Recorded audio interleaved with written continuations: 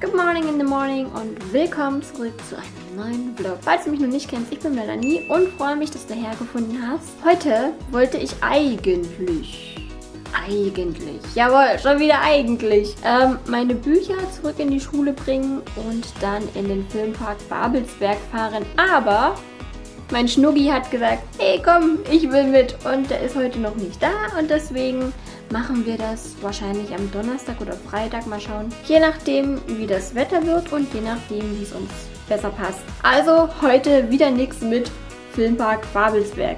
Aber ich werde gleich meine Reifen wechseln fahren. Ja, das habe ich immer noch nicht gemacht. Aber mein Auto stand den letzten Monat auch so gut wie nur. Von daher ist das jetzt nicht so tragisch. Dann werde ich euch zeigen, da ihr gefragt habt, hey, kannst du uns nicht mal zum Fotografieren mitnehmen und zeigen, wie das funktioniert? Ja, mache ich. Ich nehme euch mit, äh, erkläre euch jetzt erstmal gleich so ein bisschen die Grundregeln der Kamera, die Grundregeln der Fotografie, welche Faktoren spielen da rein, welche Einstellungsmöglichkeiten habt ihr. Und ich würde sagen, fangen wir doch einfach damit an. So, wir haben jetzt hier meine wunderschöne Canon EOS 80D. Ich liebe diese Kamera und ich würde euch jetzt äh, einfach mal ganz kurz die Grundregeln der Fotografie erklären. Also wir stellen die Kamera nach drei Dingen ein. Das ist einmal die Verschlusszeit, also quasi der Shutter wird es auch genannt. Dann nach der Blende. Mit der Blende stellen wir ein, wie unscharf der Hintergrund zum Beispiel sein soll oder wie scharf der Hintergrund sein soll. Und mit dem ISO. Der ISO, der tut das Bild nochmal digital aufhellen. Aber wenn ihr den ISO zu hoch stellt, kann das Bild anfangen zu rauschen. Tschüss. Ja, das sind so die ähm, Grundsachen, nach denen ihr die Kamera einstellt. Also das ist auch irgendwie so eine Gefühlssache. Und das kommt halt alles irgendwie irgendwann von alleine, wie ihr das richtig einstellt. So, ich würde sagen, ich zeige euch das mal. Wir haben hier unten die Anzeigen. Das ist einmal die Verschlusszeit, das ist gerade eine 30. Sekunde. Also das ist schon ziemlich niedrig. Also für eine 30. Sekunde müsste ich mir jetzt schon ein Stativ holen. Weil das ist zu lange, also das Bild wird dann verschwommen. Das ist die Blende.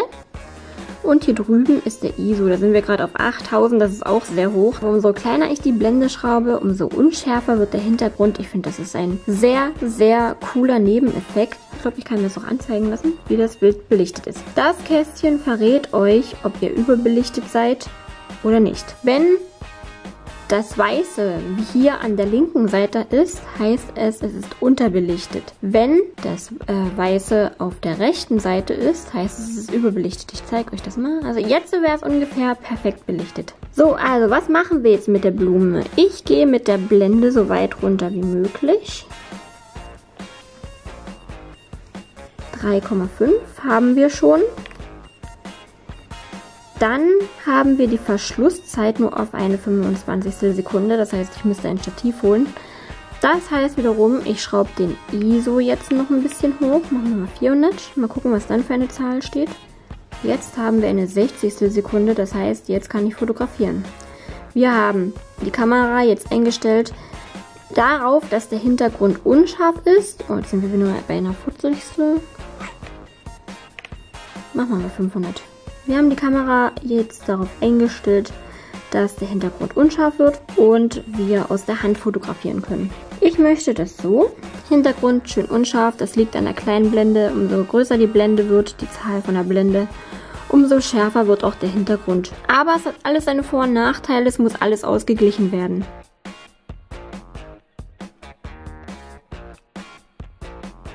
Es tut mir leid, ich bin einfach so schlecht im Erklären.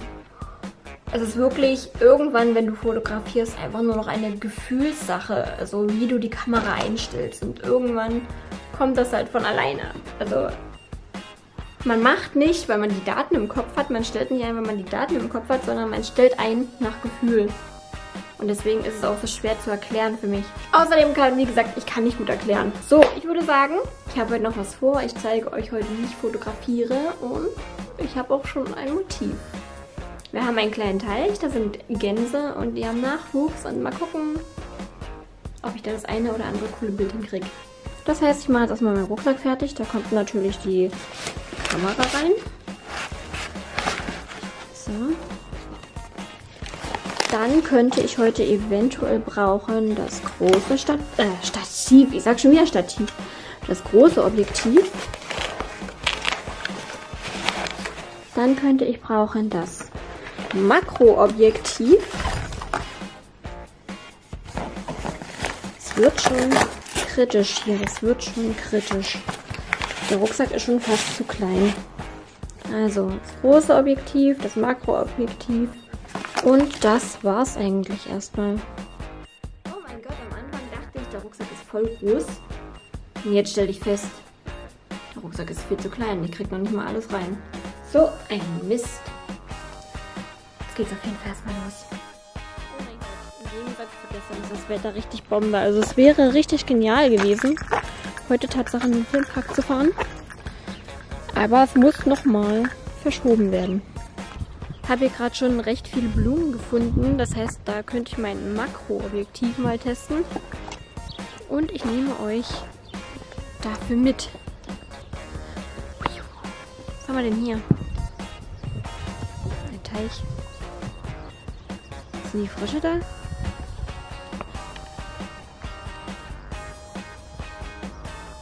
Heute sitzen die nicht auf ihrem Platz. Nö, ich sehe keinen. Was haben wir für Makro?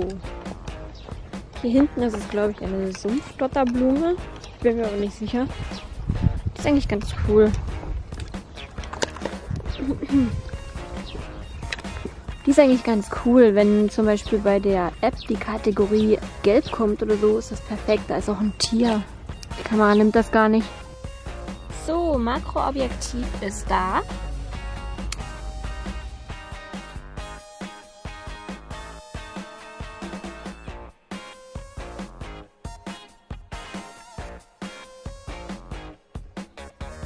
Also ein paar Bilder habe ich jetzt schon gemacht. Das hier ist das Makroobjektiv. Ich liebe es.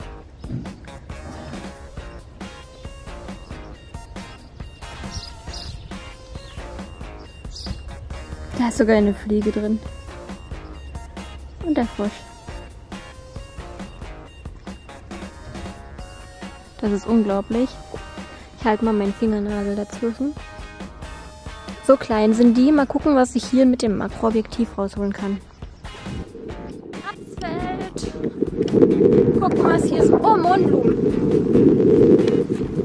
Hier sind schon Mohnblumen. Das ist cool. Die blauen fehlen mir noch. Hier. Die wachsen gerade. Die sind ja auch toll. Oh mein Gott. Schauen, was hier so geht. Das Problem daran war jetzt einfach, dass das Feld nicht stillgehalten hat. Es war ziemlich windig und das heißt, die Blume ging hin und her. Und das war ein bisschen schwierig. Ich gucke dann mal, ob ich äh, die einmal ganz gut getroffen habe. Jetzt habe ich schon das nächste gefunden für mein Makroobjektiv. Passt mal auf. Tada! Mal gucken, was ich da rausholen kann. So, Bilder anschauen. Makro Makro.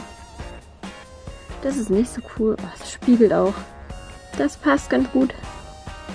Hier gehen die Mondbilder los. Also der ist wirklich im Wind hin und her geflogen, der Mond.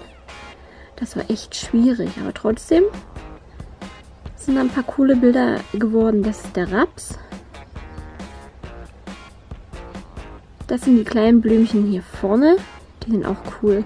Die sind echt gut geworden. Oh ja, Love it. Wenn man überlegt, dass diese Blümchen nicht größer als mein Fingernagel sind, das ist echt krass.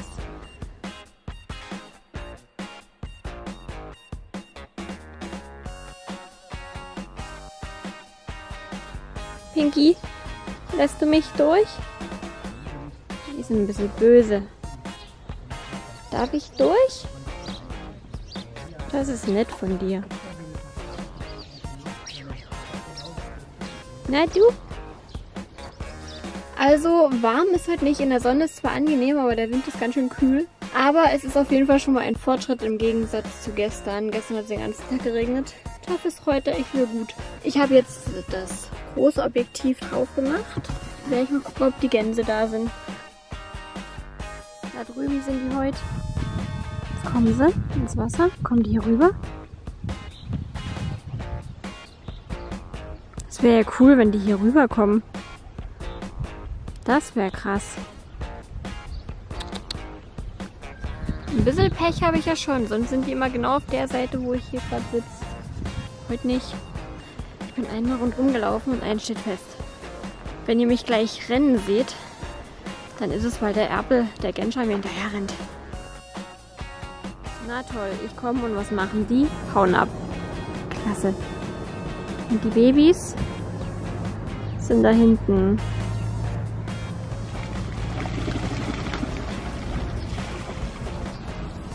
Schild. Schild. Schild.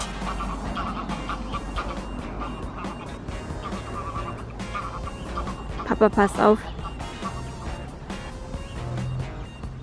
Ich glaube, der mag mich nicht. Ein Stück muss ich noch. Ein Stück muss ich noch.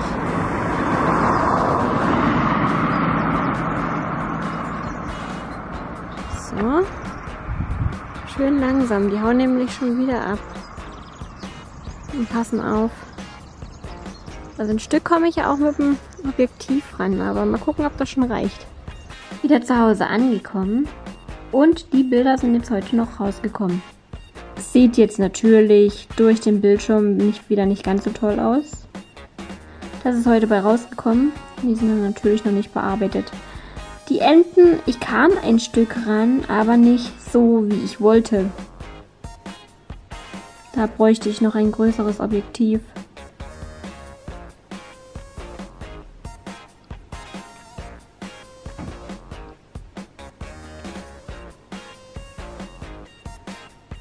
Ganz gut getroffen. Das ist auch cool. Auch nicht schlecht.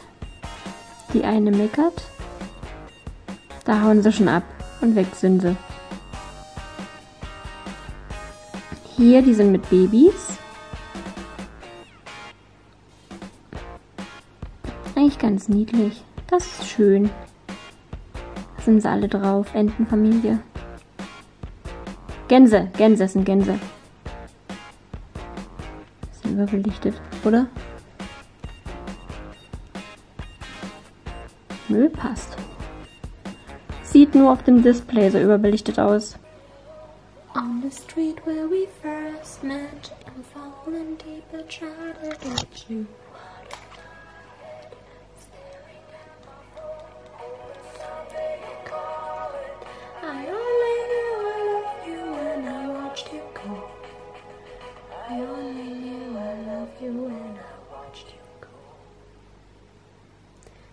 Dieses Lied. Und das auch. ID. Wusstet ihr, dass ich ein mega Fan von Michael Patrick Kelly bin? Ich liebe diesen Typen als Sänger.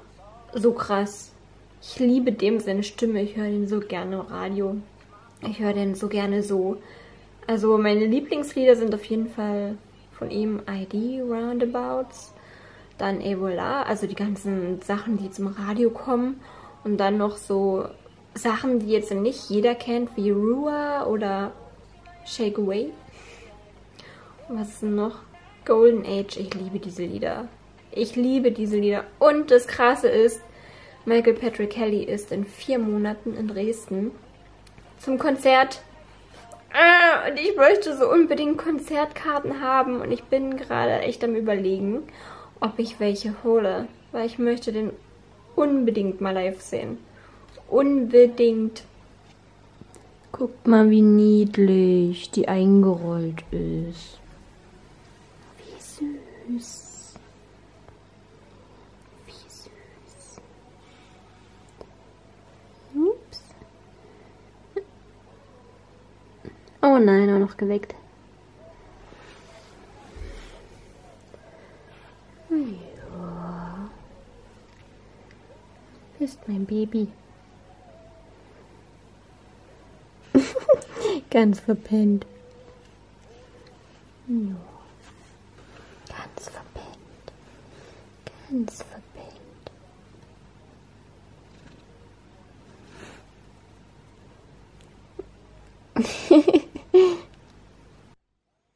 Wisst ihr, ihr was? Verratet mir mal, ob ich einen Instagram-Account machen soll, wo ich meine fotografierten Bilder mit euch teilen soll. Das wäre interessant zu wissen, ob ihr da Bock drauf habt oder nicht. Guckt mal, da kommt die kleine Susi. Hm? Jetzt habe ich sie wach geschmust. Jetzt will sie gleich weiter schmusen. Nicht? Kleine Susi.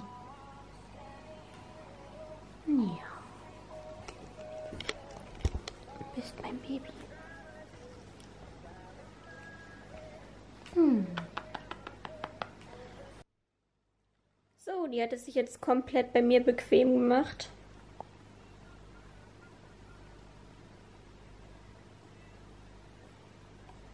Hätte ich sie mal nicht gestreichelt. Nein, Quatsch. Ich würde sagen, ich hoffe, das Video hat euch gefallen. Lasst doch gerne ein Däumchen da. Ihr wisst, den ganzen Abspann. Däumchen, Kommentar, abonnieren ist kostenlos und würde mich sehr freuen und unterstützen. Aktiviert das Glöckchen, dann sehen wir uns beim nächsten Mal wieder. Denkt dran, diese Woche geht es noch nach Babelsberg. Ich weiß aber noch nicht wann. Bleibt einfach dran, dann verpasst ihr es nicht. Bis zum nächsten Mal. Tschüss!